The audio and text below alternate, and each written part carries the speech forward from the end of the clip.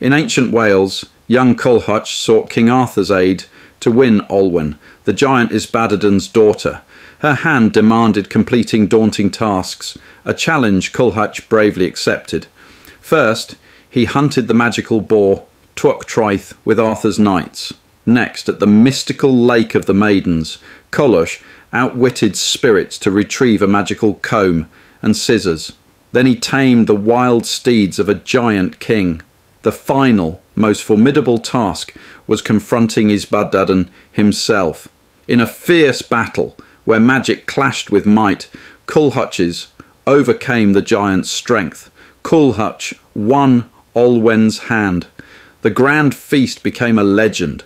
Their story, a beacon of hope and inspiration, reminds us that bravery and love conquer all.